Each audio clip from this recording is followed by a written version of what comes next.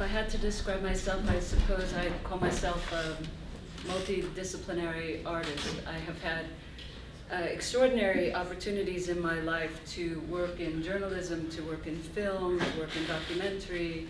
Um, my home is that I actually uh, began with a dance theater company in New York, and uh, the, the movement and the embodiment of story is very, very interesting to me. Um, let me tell you a little story. Um, it's on my mind because of the creativity and captivity, which some of you may have seen, and uh, the, the show last night. And there's a section toward the end that is a jazz section, very interesting. And two of the pieces in that section were written by a guy named Harry Berry, who was a, a British journalist. He was uh, fighting in Asia during World War II. He was captured, he was in, uh, imprisoned in Manchuria and then somewhere else, and then Taiwan, and then eventually in Omori. I guess because of the crowding, I don't quite understand this, but I guess because of the crowding and stuff, somehow the guy managed to uh, smuggle in a typewriter, and he produced a newspaper, like inside the, the prison camps. And he managed to move that to two different places, but they eventually caught him and, uh, and took it away and put him on very hard labor um, as a punishment. They wanted him to write, this was Japanese, they wanted him to write propaganda, but he refused, English propaganda. And he refused, so he, he was really doing this terribly hard labor, one part of which was um, to unload the, the big bags of rice and the food, and they were doing that kind of work all day. This is uh, at, toward the end of the war in Japan, and the Japanese were starving. The Japanese were very hungry and in almost as bad conditions in a way as the prisoners. So Harry Berry, this British guy with an incredible sense of humor, he's the one who wrote those songs about in Aomori there's a new sensation, POW, you know, and he's doing all this stuff and they're putting on little revues. This guy is sneaking off to which he can be shot with bags of rice, bringing it to the barbed wire and giving it to Japanese people on the other side. Okay? This is a story. Um, okay, this is a list. 9,325, 9,325, 2, 87, 427, 9. Now, do you remember the story about Aomori and about Harry Berry? Can you remember that? No? You can't remember Harry Berry that I just talked about? Oh, just now. Yeah, just now, the story about the rice guy. I, I got it. Right, okay. In fact, it's there forever. And you, and you, and that's forever, and you will remember that story tomorrow, and you will remember that story next week. Right. Could anybody repeat the list of numbers? And I used really small ones today because I'm tired. I mean, you can't, because we're organized to take in information through stories. It, period. Period. That is how we understand the world, is through stories and narrative.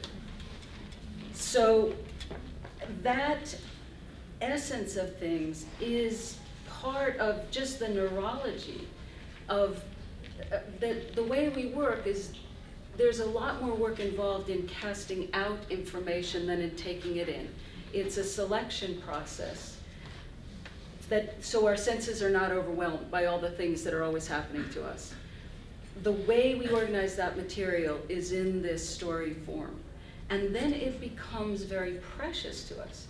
And while as a director and as someone, as an artist, my hope is always to materialize things and bring things really all the way through from hopefully something coming from a high level all the way down on the ground to be materialized.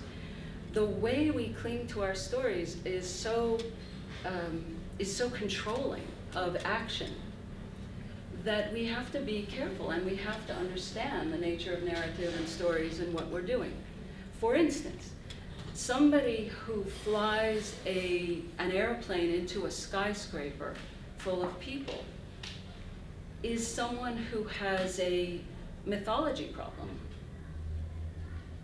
That guy has a story about his place in the world, what he thinks he's doing, what the purpose of that is, why it's so important he should do that. And he is very, very, very attached to that story. For me, I run a, an outfit called um, Mythic Imagination Institute. And so we work with mythology and the nature of mythology um, as sort of a ground base.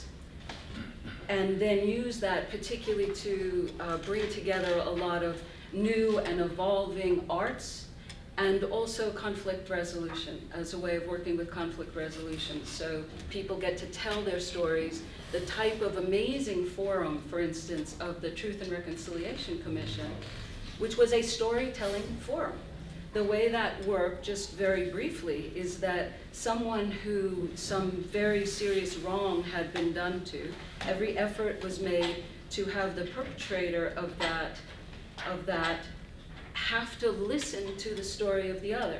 And it was done in a very formal setting, but it wasn't justice. It wasn't about um, meting out justice. It was about somebody having to listen and hear the story. So that opportunity is the opportunity to walk up to the threshold of forgiveness.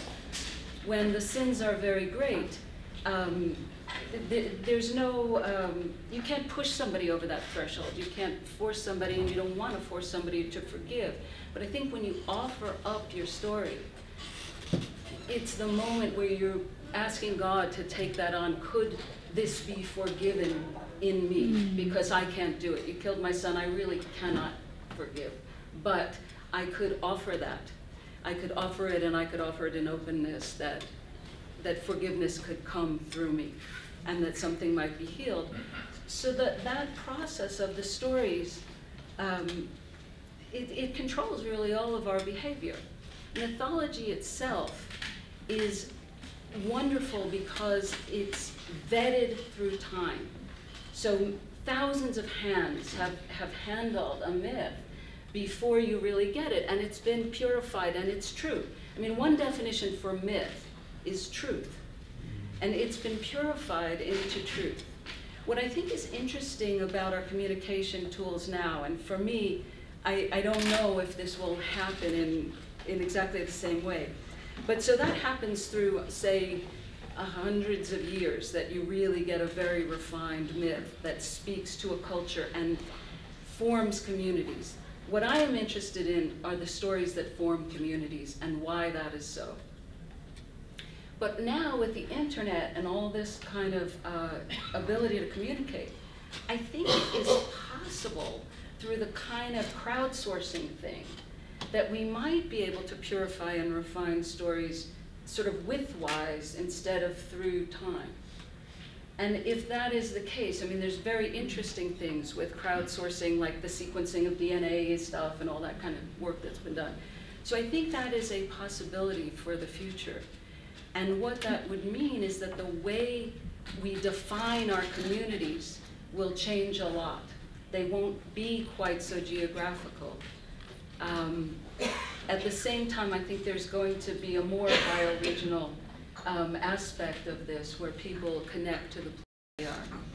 So I will start talking and um, and just say that's sort of my first take on this